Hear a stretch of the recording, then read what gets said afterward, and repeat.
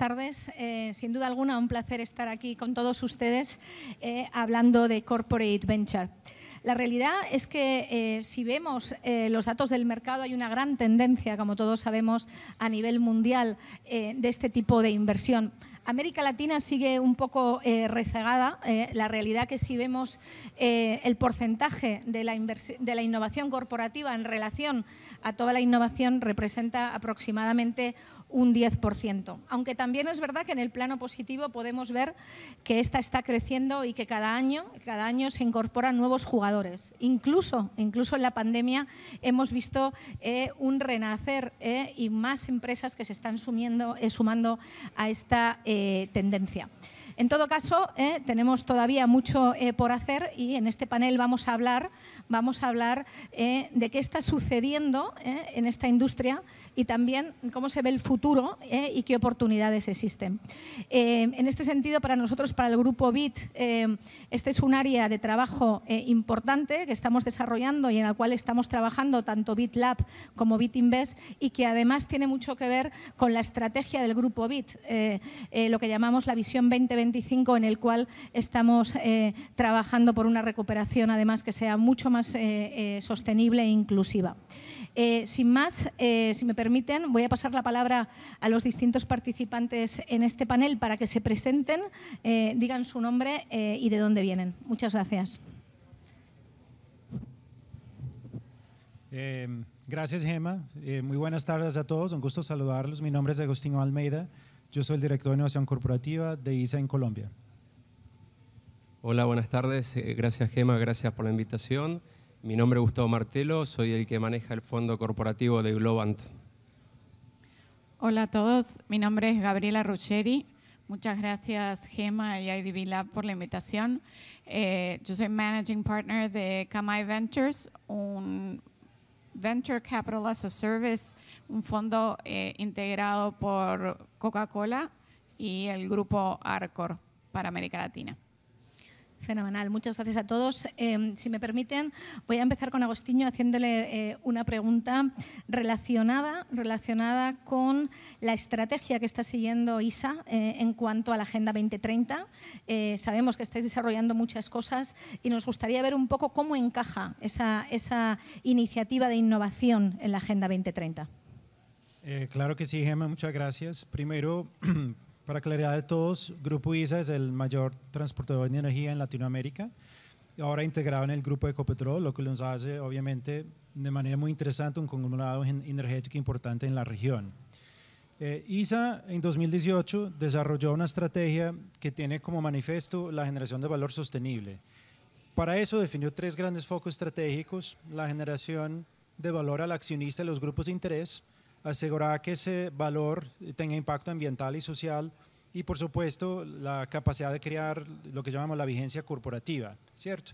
Y esos tres focos estratégicos están, descansan sobre lo que llamamos unos pilares, que de hecho tiene un acrónimo en español que es VIDA, Verde, Innovación, Desarrollo y Alianzas. Entonces a partir de ahí yo creo que puede ser eh, muy diciente cuál es la importancia que tiene corporate venturing desde la generación de alianzas, trabajo con innovación abierta, eh, los diferentes ecosistemas, naturalmente relacionado por la huella regional que tenemos, porque desde los negocios, donde sí el Pareto está en transporte de energía, más del 80% de la evita viene ese negocio, hay una cuota importante también en vías y telco, y la lógica aquí es trabajar con los diferentes ecosistemas en los países donde estamos, que principalmente son Colombia, Brasil, Chile, Perú y Bolivia, ¿cierto? Ahora, ¿cómo la innovación encaja ahí? ISA ha sido una empresa innovadora en el pasado, en sus 50 años. Desde 2018 formulamos lo que llamamos la nueva estrategia y sistema de innovación del grupo. Y en, eso, en esa estrategia definimos cuatro para qué es. Para asegurar que la innovación realmente genere valor y que el corporate venture sea parte de esa capacidad de generar impacto que queremos. No solo para nuestro negocio, sino para los entornos donde estamos, desde la lógica de impacto ambiental, social y predial. Esas cuatro verticales son la capacidad de generar valor para los negocios principales, ¿cierto? Innovación muy cercana al core del negocio. El segundo es cómo desarrollamos innovaciones y nuevos negocios que estén adyacentes al negocio core. Pero tercero es mucho más distante de eso. Una innovación más transformacional, ojalá más disruptiva y que anticipe incluso los cambios en la industria donde estamos, ¿cierto? Transversal a eso hay una cuarta dimensión que es de la más reciente, que es lo que llamamos la innovación de impacto, ISA Impact. Y es precisamente ver desde Corporate Venture cómo generamos alianzas que nos permiten atacar esos desafíos globales. A esos para qué es, de forma breve, importante referir que hay unos cómo bien interesantes, como tú decías, que estamos gestionando. Uno es el desarrollo de un Corporate Venture Capital Fund, que va a apuntar a una tesis de inversión que esté dentro de los límites de la región de Latinoamérica y Caribe, muy enfocada principalmente en transición energética, también por el, el, interés que tenemos con el grupo Ecopetrol, pero que apunta rondas B para arriba y muy cercano al negocio core que tenemos, transición energética como tal, ¿cierto? Pero vamos a tener otros vehículos que nos permiten potenciar esas alianzas y los trabajos que hemos venido haciendo con el ecosistema y sobre todo pensar en una capacidad de inversión y desarrollo de de nuevas innovaciones, productos y servicios que están lejanos al negocio core. Y voy a poner un ejemplo muy sencillo, solo para que tengan claro qué distante estamos o no del tema de, transición energética y nuestros negocios principales. Un tipo de innovación incremental, por ejemplo, es desarrollo de drones para monitoreo de subestaciones. Nada tecnológicamente disruptivo avanzado, pero la integración de eso o capacidades sensóricas a través de IoT, inteligencia artificial en las subestaciones eléctricas. Esa es una innovación incremental que ni siquiera es desarrollada la tecnología internamente, es un tema de apropiación y de generación de impacto ahí. Algo adyacente sería, por ejemplo, en entrar al negocio de almacenamiento o servicios distribuidos de energía, muy cercano al core, pero ya diferente como modelo de negocio. Algo completamente fuera de ese espectro, que sería a través de esos vehículos, es, por ejemplo, qué hacemos con los datos. Un mercado de datos permite a las personas tomar decisiones. Muchas gracias. Eh, pasamos a Gustavo. Eh, Globan ha tenido un crecimiento espectacular, ¿eh? espectacular los, últimos años. Parte de su éxito ¿eh? se debe a todas las alianzas, el trabajar con otras instituciones y también la compra, ¿eh? la fusión de distintas entidades. Em, sería interesante que nos contaras un poco cómo dentro de todo esto que ha ocurrido los últimos años en la empresa, cómo nació Global Venture, con qué objetivo, etcétera. Gracias. Sí. Em, sí, para, para comenzar les diría primero para aquellos que no conocen, Globan es una empresa de, servicios y plataformas eh, digital, nativos digitales. Em, hoy está evaluada más de 10 billones de dólares. Em, estamos en 18 países, 50 y pico de oficinas. La particularidad que tiene Globan es que fue fundada por eh, cuatro amigos hace poco tiempo, en el 2003 y, creció exponencialmente, siempre con el propósito de ir ayudando a las organizaciones a reinventarse, em, a, potenciar eh, sus negocios a través del uso de las tecnologías. Em, con este contexto, a ver, lo que quiero decirles es, ahí adentro, dentro de Globan están los, emprendedores, están los fundadores que hoy son eh, C-level de la compañía, y el ADN de ellos se traslada a toda la compañía, se derrama por todos lados. Eh, una de esas, eh, de, esas iniciativas que ellos impulsan fue, fue justamente Global Ventures. El, venture que em, invertimos en emprendedores que tienen una, una visión y digamos, eh, tiene un propósito muy similar a los emprendedores de Global, ¿no? Con esto de, con el propósito de transformar quizás los negocios y, la vida a través de, las tecnologías. Em, hace tres años comenzamos con, esta aventura de, invertir en emprendedores. Lo empezamos haciendo en Argentina. Hoy ya estamos evolucionando en el sentido de que estamos invirtiendo fuera de Argentina. Ya somos un fondo más bien global. Las últimas inversiones fueron en Colombia, eh, fueron colombianas. También eh, invertimos en, en, una startup de Estados Unidos. Em, pero bueno, nada, simplemente para, para, ir cerrando esta parte, estamos invirtiendo desde una serie B serie A para arriba, eh, ya más parecido a un fondo, eh, no tanto como cuando lo lanzamos, que en su momento fue más bien una aceleradora de, de startups.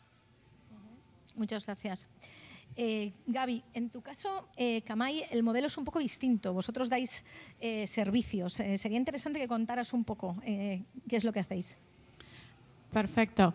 Em, si nosotros desde, desde Camay, o, en realidad desde Overboost, que es la compañía de gestión, lo que hacemos es eh, ayudar a corporaciones a desarrollar sus modelos de, venture capital.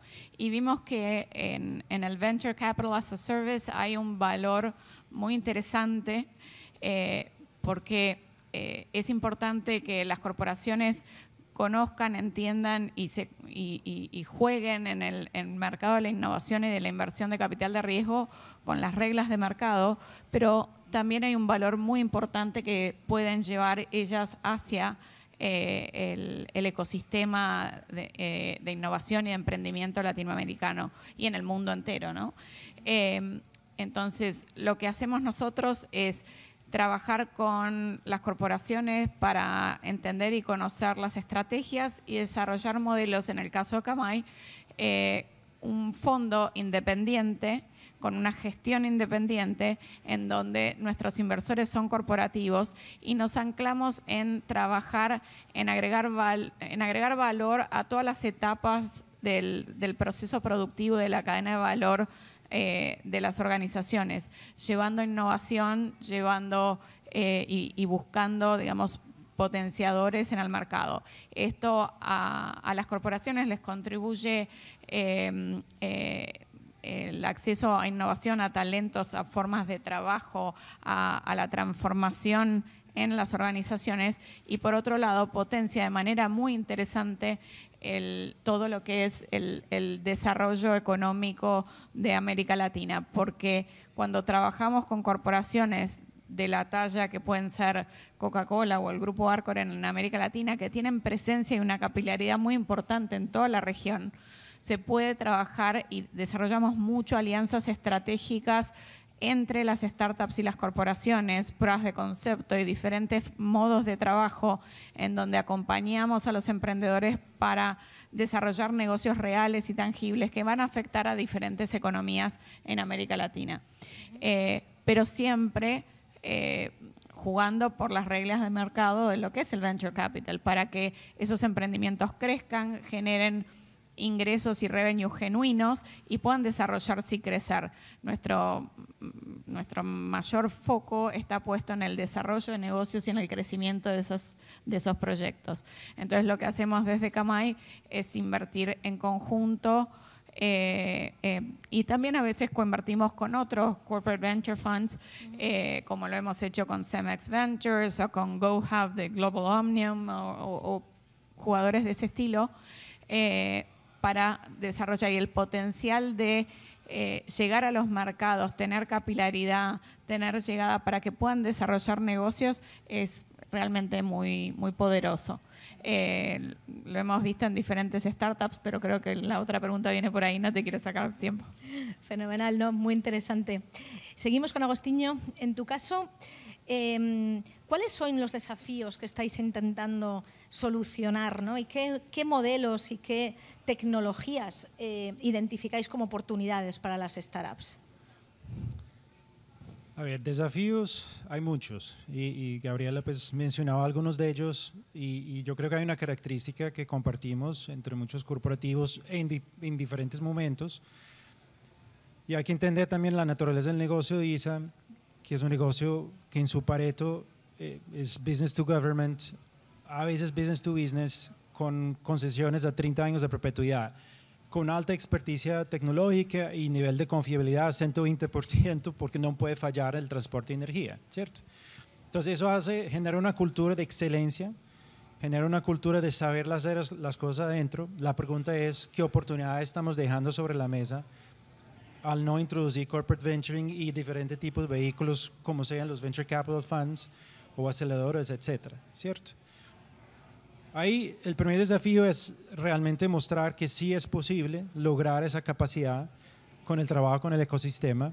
Los últimos dos, tres años hemos tenido ejemplos muy interesantes para lograr solucionar problemas que tienen obviamente un alto costo en OPEX y TOTEX para la organización, pero que están muy enfocados en el core. Entonces es importante diferenciar el trabajo que estamos haciendo para lograr que la innovación abierta y corporate venture, por un lado, solucione esos desafíos, desafíos como eh, solucionar problemas de corrosión que representan 10% de los costos anuales, o la oportunidad de renovar las subestaciones para reducir la necesidad de monitoreo local, hacerlo remoto, o la generación de valor a partir de los datos que estamos generando desde las subestaciones y el transporte como tal. Eso es muy enfocado en el core y el trabajo ahí ha sido desde la identificación a través de mecanismos, acabamos de cerrar uno de innovación abierta para todos los países donde estamos, otro también de identificación de retos eh, bottom-up, o sea, de entender realmente diariamente las personas que tienen ese dolor y cómo impacta el negocio core. Donde creo que debemos apostar mucho, un poco lo que decía eh, Gabriel y Gustavo, la oportunidad está en entender con las competencias y el conocimiento que tenemos, cómo generamos unos espacios que nos permiten realmente innovar y, y, tener un ADN distinto. Y ahí es donde creo que van a aparecer muchas oportunidades desde la convergencia de tecnologías de industrias. Entonces estamos mirando cosas como movilidad inteligente, eh, smart grids, la capacidad de generar propuestas de valor diferentes, nuevos negocios de energía con hidrógeno, con almacenamiento, aún sabiendo que está lejanos en el tiempo, la, entrar ya en eso es importantísimo, principalmente en ciertos mercados, por ejemplo el chileno desde el punto de vista regulatorio es interesantísimo para desarrollar esos nuevos, nuevos negocios. Y ahí vienen otra vez la, la oportunidad desde los vehículos que mencionaba, tener un fondo independiente permite lo que Gabriel decía de buscar una forma distinta con unos drivers de negocio muy diferentes de lo que tenemos y dar ese espacio, pero sí tenemos que tener también un vehículo que nos permita atacar esas oportunidades de innovación disruptiva como les mencionaba ahorita. Muchas gracias. Gustavo, eh, eh, ha tenido un modelo que ha ido evolucionando y a lo largo de esa evolución habéis, me imagino, encontrado distintas oportunidades para tener impacto. ¿no? Sería interesante si nos podrías contar un poco al respecto y, sobre todo, dado tu experiencia, ¿dónde ves tú que va a haber oportunidades de generar impacto en un mundo post-pandemia, en esta nueva normalidad que estamos todos queriendo crear? Sí. Em, un poco también tomando lo que decías eh, anteriormente Em, creo que espacio para la innovación hay en todos lados. Em, la innovación creo que no solamente se tiene que buscar adentro de la compañía, sino también fuera de la compañía. Eh, y eso es un poquito el propósito de, también del venture de, de Globant. ¿no? Em, un poco es traer esas soluciones disruptivas, esas soluciones, esos emprendedores que están haciendo algo eh, de, de primer nivel para, eh, para tenerlo cerca de nosotros. Em, en cuanto a las oportunidades, digamos que estamos, estamos viendo desde nuestro lado, es, em, te diría que a raíz de, la, de, la, pandemia y toda la, la, nueva normalidad, lo que estamos notando es que los emprendedores o los proyectos están girando más a lo que es el mundo digital, que es un poco más de lo que nosotros ya veníamos haciendo. Eh, pero ahora lo que estamos notando es que prácticamente todos se están corriendo para ese lado. Desde muchas soluciones de, bueno, de trabajo remoto, educación remota, em, también de, seguridad, del tema del COVID, etc. Em, creo que acá la, em, la ventaja o el diferencial va a estar dado más que nada por, por aquellos que sepan adaptarse mejor a, los nuevos, a los nuevos escenarios que, se van planteando en la, en la vida. Eh, y a través del uso de la tecnología es lo que te permite justamente hacerlo.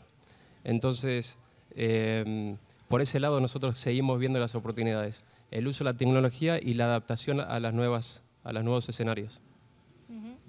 Fenomenal. Y Gaby, desde tu modelo eh, más de servicios, ¿dónde ves que podéis generar impacto? de, la verdad, de múltiples formas. Em, una de las, eh, uno de los valores de tener inversores eh, corporativos en el, fondo es justamente la habilidad de desarrollar, eh, como les decía, pruebas y diferentes formas de trabajo en diferentes geografías.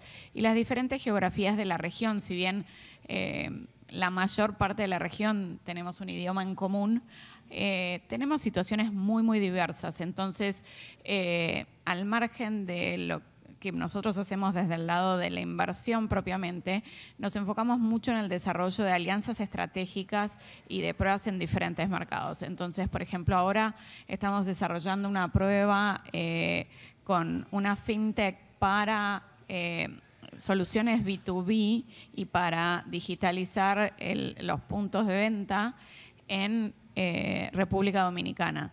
Y la verdad es que eso es el, startup se llama Mío, por ejemplo. Eso es un caso muy interesante porque eh, eh, si no tuviésemos de, socios en, el fondo corporativos en donde tuviesen esa capilaridad, el impacto a llegar a diferentes geografías en la región sería bastante más difícil y la entrada y la internacionalización de esos proyectos sería bastante más difícil. Por otro lado, en, proyectos que invertimos también, por ejemplo, de Actec, eh, en donde la prueba de concepto que desarrollamos la desarrollamos sobre 10.000 hectáreas de campo de uno de los corporativos, también del grupo Arcor, y eh, se consiguió una optimización por sobre lo que se usaba de 15% del área sembrada. Y la verdad que eso es eh, importantísimo y una facilidad de uso eh, en contacto con la gente en el campo que realmente eh, tenían una ventaja, pero significativa, o por ejemplo en el, reciclado de, plásticos flexibles y complejos, bilaminados y otras cosas para usos en la construcción. Entonces ahí, por ejemplo, nos asociamos y coinvertimos con Cemex Ventures y, y son casos bien concretos y la verdad es que no tenemos nada de lo que tenemos en el portfolio que no hayamos trabajado y que no hayamos hecho un desarrollo de negocios activo en donde vemos y podemos impactar a comunidades. Y los objetivos, en ese sentido, el fondo, tienen que ver con impactar a los actores de la cadena, con impactar a, los famosos canales tradicionales y a, todo el ecosistema en torno a las corporaciones, que es en definitiva lo que va a elevar la calidad de vida de las personas de la región. Entonces, la premisa es esa, es, todo lo que pueda afectar al ecosistema en torno a las corporaciones, no solamente eh, pensando en el negocio primario, digamos, sino al entorno, porque al elevar el entorno elevamos la capacidad de desarrollo de todos. Eh, eso es fundamentalmente lo que hacemos y en que nos esmeramos y, nos, nos, llena, nos llena muchísimo la actividad realmente. Fenomenal, muchas gracias. Ya para ir terminando, me gustaría hacer una, una pregunta a todos. Eh, hay muchos emprendedores aquí hoy en día. Eh, aquí, ¿qué, ¿qué, les ¿Qué les dirían eh, para aquellas empresas que quieren hacer algún acuerdo comercial o incluso que estarían eh, interesados, ¿no? interesados en, trabajar con ustedes? Con lo cual, pongámonos un poco ahora en, eh, la cabeza de esas startups, de esos emprendedores que quieren trabajar con ustedes. ¿Qué les dirían? La, la, pregunta difícil para mí, listo. en el caso de ISA, siendo muy franco, eh, a veces hay que tener paciencia. Uno de los procesos de innovación, eso es de verdad, uno de los procesos de innovación que estamos desarrollando se llama compras innovadoras, precisamente para agilizar la capacidad de cerrar acuerdos con emprendedores y startups. Eso es un dolor que creo que muchas entidades públicas, por ahí está, ahí está Francisco, que sabe que lo vivimos en diferentes entidades públicas, eh, no solo en ISA y no solo en Colombia. Entonces, lo primero. Segundo es que lo estamos trabajando. ¿Cierto? Yo creo que, que, esa es parte de la buena noticia. Eh, la segunda cosa que les diría, como ahorita les mencionaba, yo sí siento, y Gustavo lo reforzó, hay unas oportunidades muy bonitas de generar diferentes tipos de alianzas. ¿Cierto? Lo primero es para exactamente para cosas que los negocios principales necesitan. Entonces, ahorita les puedo contar, ya después del panel, Hemos tenido trabajo con empresas, eh, con startups que trabajan con drones, con IoT, con sistemas de analítica para subestaciones, para desarrollo de nuevos materiales también, para introducción de plásticos para producción de asfalto. O sea, hay de todo y también de economía circular muy asociado al core. Pero está el otro lado y son las oportunidades realmente disruptivo. Como corporativo, ISA eh, y ahora también desde el grupo Ecopetrol hay un interés muy grande de explorar esas oportunidades, desde parte de esos cambios como tal que se están viendo en el mundo, porque las oportunidades de generar impacto para los negocios y los entornos en que vivimos son absolutamente geniales.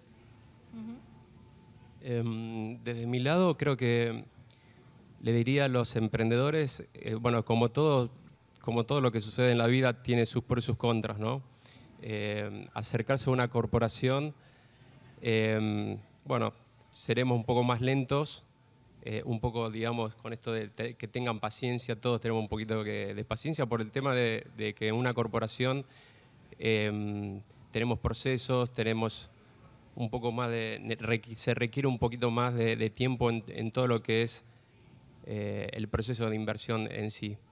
Em, pero por otro lado, para el lado, del lado muy positivo, que por lo menos yo les recomendaría, es acérquense a aquellas corporaciones que no solamente les dé un, digamos, capital, aporte, sino también que le pueda dar eh, oportunidades comerciales, que al fin y al cabo son esas oportunidades que le van a permitir crecer a largo plazo y sostener el negocio a largo plazo.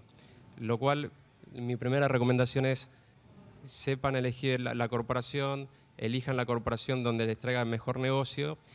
Y como para, eh, digamos, eh, mi última recomendación en este sentido, le, diría es acérquese a aquellos emprendedores que ya hayan sido invertidos por esta corporación y tomen eh, el feedback de, ellos. ¿Qué mejor feedback que los mismos emprendedores que fueron invertidos?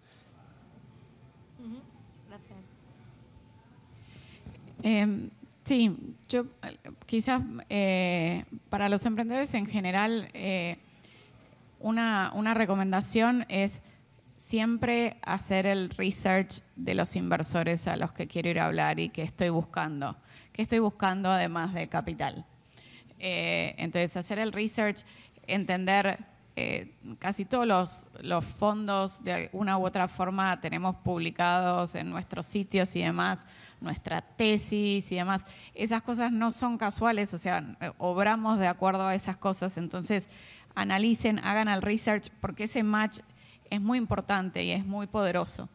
Eh, y después, definitivamente, em, eh, un poco en la línea de lo que decía Gustavo, eh, elijan el partner, la capacidad, al margen del capital, la capacidad de desarrollar negocios, validar modelos y generar ingresos y tracción, digamos, real y, consistente en América Latina es, es muy importante.